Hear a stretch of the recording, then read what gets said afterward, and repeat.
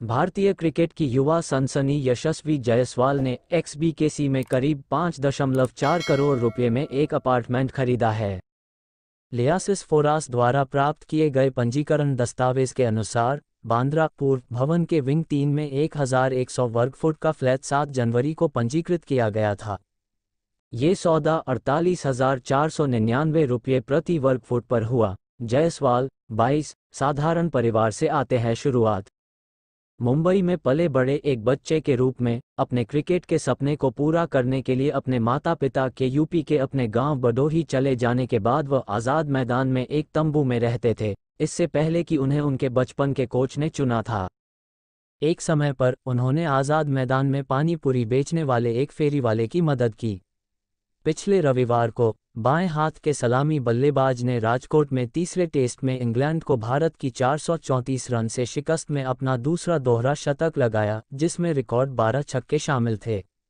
जायसवाल ने 2020 में under minus उन्नीस विश्व कप में अपना दबदबा बनाया।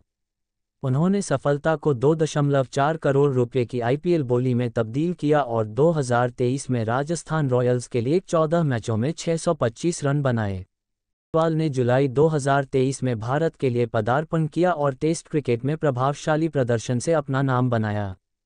उन्होंने इंग्लैंड के खिलाफ चल रही पाँच मैचों की घरेलू टेस्ट श्रृंखला में शानदार प्रदर्शन किया है और लगातार दो दोहरे शतक लगाए हैं।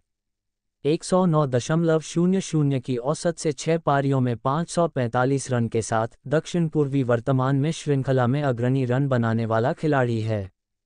यशस्वी जायसवाल ने पिछले हफ़्ते राजकोट टेस्ट में भारत की दूसरी पारी में इंग्लिश गेंदबाजों की जमकर धुनाई की, यहाँ तक कि अनुभवी तेज गेंदबाज जेम्स एंडरसन को भी नहीं बख्शा।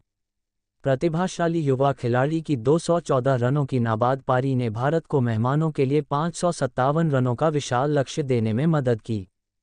चौथी पारी में पीछा करने के लिए, बेन स्टोक्स एंड कंपनी 122 के मामूली स्कोर पर देर हो गई। क्योंकि मेन इन ब्लू ने 434 रन की ऐतिहासिक जीत हासिल की, जो रनों के मामले में उनकी सबसे बड़ी टेस्ट जीत थी।